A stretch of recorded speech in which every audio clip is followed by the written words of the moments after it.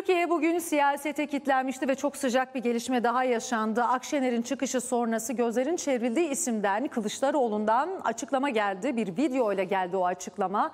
Gerginliğe izin vermeyeceğiz, sorumlu davranmaya devam edeceğiz diyen CHP lideri Halil İbrahim sofrası benzetmesi yaptı. Sofra büyümek zorunda, biz her şekilde Erdoğan'ı yeneriz mesajı verdi.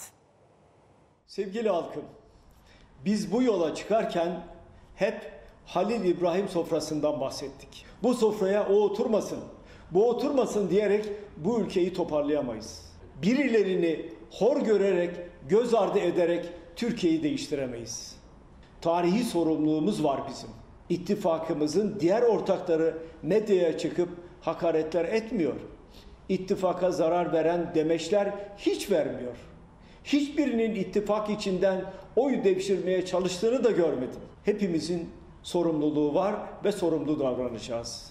Bana gelince ben bu saatten sonra değişmem. Ben birleştiririm. Birleştirmeye de devam edeceğim. Sofra büyümek zorunda. Bunu da kimse durduramaz. Umudum niçin bir araya geldiğimizin farkındalığıyla sakin olmamız. Bu sofraya herkesi davet etmemizdir. Birilerinin kalkması yerine tüm renklerimizin oturmasını sağlamamızdır.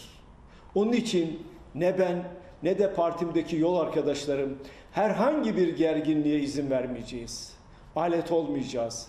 Biz sorumlu davranmaya devam edeceğiz. Kimseyi geride bırakmayacağız. Türkiye'nin tüm vatandaşları bu sofraya davetli olacak. Halkımız kaygılanmasın. Biz her şekilde Erdoğan'ı da Erdoğan'ın propaganda makinesini de yeneriz, Siyasette sıcak gelişmeler yaşandıkça aktarmaya devam edeceğiz efendim.